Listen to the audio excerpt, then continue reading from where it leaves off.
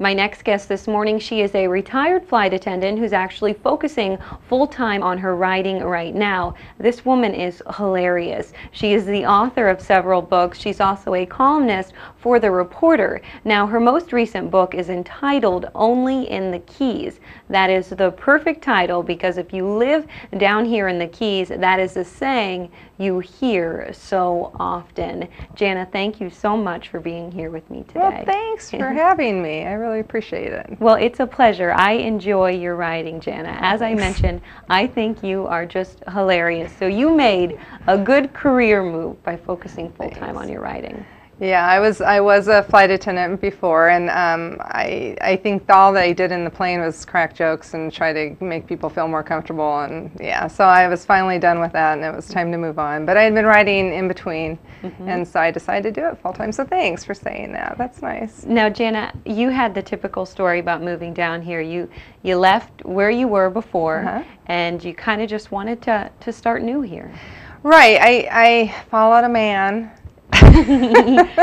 but no, we got married and I came down here and that fizzled out real quick. And then I met my um, my my husband now, who's been with me for 22 years, and so um, and and it's been fun. And we just ended up staying here. We both love it, and um, you know, we we travel a lot still because he's a pilot, so we still mm-hmm. get to travel and get off the rock, as they say. Mm-hmm. But you know, there's nothing that beats the Keys. Absolutely, and you write about it. Jana, as I mentioned, one of your books that was just recently released is entitled Only in the Keys. So obviously, right. Jana, you saw that there were things that was happening down that were happening down here that you could only find in the Keys. Right. I mean, everybody that lives here, we all know it's it's only in the Keys. That's that's what my title of my article has been from day one, um, and and it's just fun, fun, silly stories about what you see every day. That silly mail- mailboxes or um, you know, just uh, restaurants. You, you can't go to a restaurant and have a romantic dinner. You're going to be seeing your whole, you know, it turns out to be a party, which is mm-hmm. what the keys are all about and stuff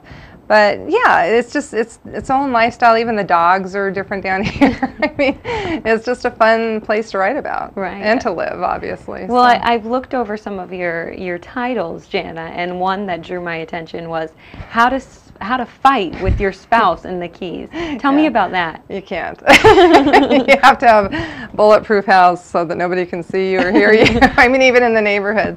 It's a small town. Um, I keep looking out there because my husband drove me down, and it was all we could do not to fight in the car. so it's a two-hour drive from Key Largo. But uh, yeah, it's you just you know everything has its own little quirks down here. It's a small town, and mm-hmm. it's just you know full of love and people people are all here supporting each other, but yeah, you, you can't, or even your kids. Like for a long time, we all carpool, and so we have um, DVD players in our cars. And you know, I was playing stupid, stupid shows, and I, I started realizing that people could see that I was playing the stupid. So now I'm going to put in educational shows, and my daughter's like, "What?" And I go, "Well, because other people can see. We all know each other, you know." or my girlfriend, I have the the school mascot, the little sticker that you put on your cars, and mm-hmm. she hates that because she's like, now everybody knows that you're, you know, that you're all from that school, so you can't even like make a wrong turn because people know the the stupid school person. so it's it's just you have to be very careful, but it's just fun. So now, is yeah. it hard for you to come up with a new column idea each week?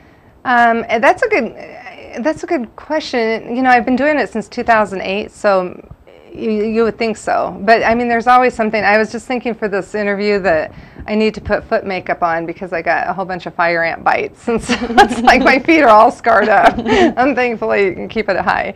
But uh, yeah, I mean, fire ant bites. How many other places have fire ant bites? And people around the Keys know that your mm-hmm. feet just get these major scars. So that could be my future article. Yeah. Um, anything, you know, anything from a flat tire to the bugs. I wrote.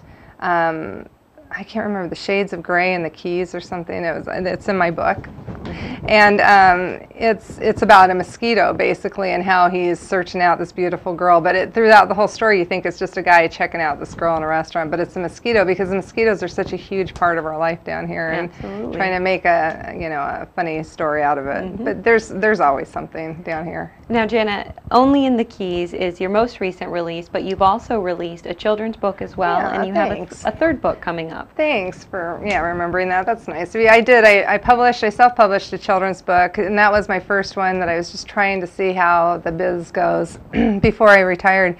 And it was it's called um, The Puppy Tooth Fairy, and it's one of the first. There's a couple different stories in it that I'm still trying to get out, uh, but this one's called The Clumsy Canine, and it's available on So it's really cute. It's it's for anybody that has a puppy or a brand new, you know, first lost tooth or even a few lost teeth. It's good for people to be able to read to their kids at night, and mm-hmm. it's just a fun one. My daughter gave me that idea because our puppy lost his her tooth when she was a little baby puppy, mm-hmm. and my daughter's like, so now what happens to them? Do they have a tooth fairy? And I said, you know, you're right, they do. So, they should have one if they don't, so, right? so we uh, we wrote the story. She helped me a lot actually, so it's okay. a good one.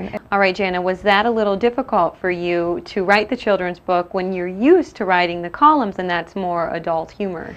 That's a really good question. Thank you for asking that. Um, I love I love both. Um, I've even written TV scripts. I've won awards for that. Um, so I, I, tend to just write. I think it's my therapy. I, I did a conference that's called Writing Through uh, therapy through the keyboard. And so it just, whenever I'm upset with my husband or anything, I can do my therapeutic writing and it gets out. So, but the, the adult books, I have the third book that I finished and that we're trying to get published. It's called Allergies Over the Atlantic.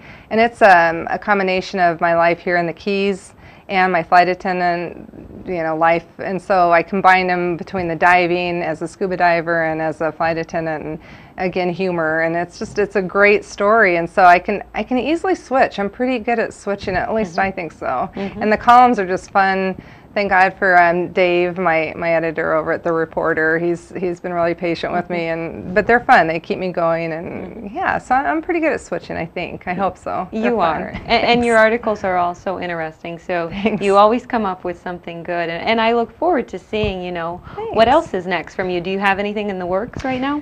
Right, we have we go skiing a lot too, and so um, we have uh, my whole family still in Colorado. So we have a book that I started. It's called Mountains of Dough, and it's about um, you know, the bears up there and the, the life trying to ski down. I have to have a shot of liquor to get down the hill usually. no, but um, but yeah, you know, I try to do that. I have um, more of the children's books, a series of that. The second series in Allergies Over the Atlantic is called Bunions into Boston, and so that one's kind of about halfway through. So I'm I'm busy writing, and, mm-hmm. but it's it's it's hard because we like to play down here. Yeah, so. Right. So you have to find the balance. You've got to yeah. stay disciplined. And now, Jana, before we go this morning morning. Do you think you made the right career move by leaving the flight attendant business behind and doing the writing? You know, I loved being a flight attendant. Um, my husband's over there going, I didn't like to work, but I like the paycheck. no, I liked being a flight attendant. It gave me an amazing opportunity in this world um, to see the world. And fortunately, I'm still able to continue my traveling. So I, I don't feel like I've really lost anything other than a decent paycheck. So um, now the writing, hopefully, yeah, I love it. It's a therapy. Mm-hmm. So I'll probably be nicer to be around.